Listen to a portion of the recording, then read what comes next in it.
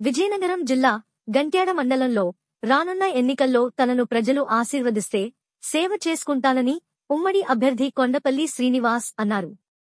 గంట్యాడలో TDP మండల సమావేశం గురువారం రాత్రి జరిగింది.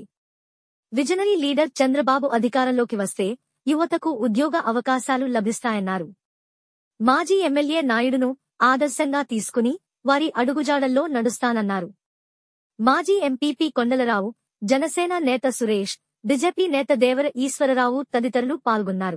కాదు ఆ పిల్లవాడికి కోచింగ్ సెంటర్ జాయిన్ అవ్వండి. లేకపోతే మీకు మీరుగా మీ తాలూకా స్కిల్ అభివృద్ధి చేసుకోండి అనే పరిస్థితిలో ఈరోజు చంద్రబాబు నాయుడుకు ప్రణాళికలు ప్రణాళికలు తీసుకొచ్చి ఈరోజు రానున్న తెలుగుదేశం గవర్నమెంట్లు ఇవన్నీ చేయనున్నారు.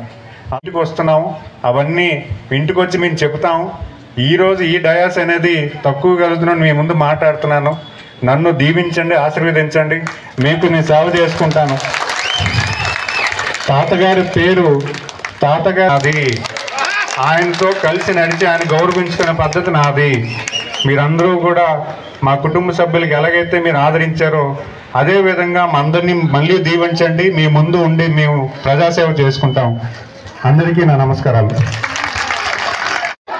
మన అభ్యర్థి